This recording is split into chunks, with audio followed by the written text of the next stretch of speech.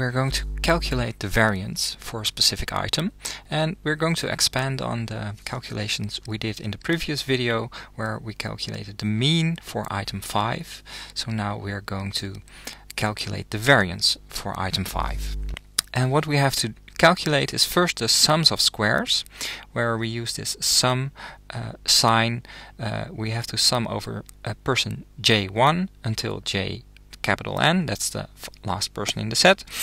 And we have to, uh, we call this the sums of squares because we're summing all the squares.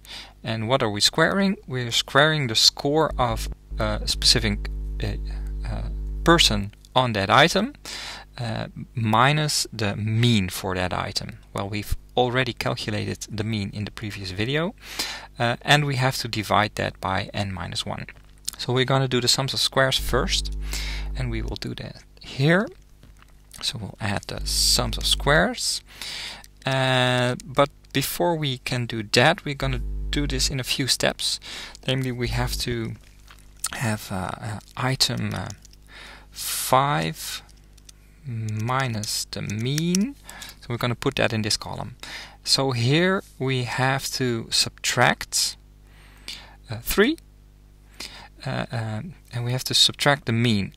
So we're going to say we're going to um, use this value 3 and we're going to uh, subtract the mean of that one and we can use a neat trick here because um, if we put a dollar sign in front of the number 14 here and this number 14 uh, refers to the row 14 and then we will fix this uh, row position. So if we do this we can pull this down and it will apply the same calculation to all uh, the scores that we have here. So uh, if we see here we have the 3 blue and the mean red.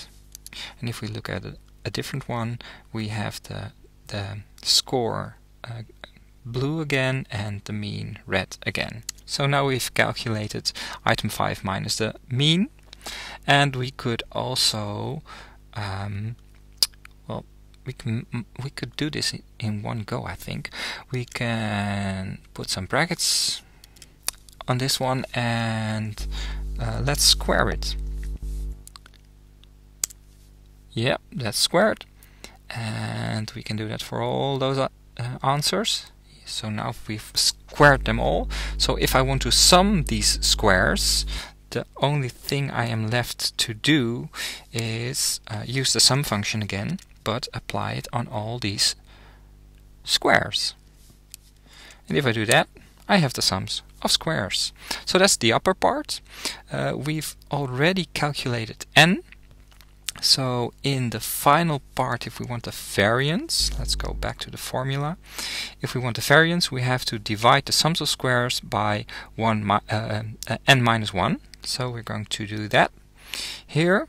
And let's see, we have to divide the sums of squares uh, by n minus 1. I'm going to put in some brackets, of course. Uh, apply that and we have the variance. Um, I think we're done now, aren't we?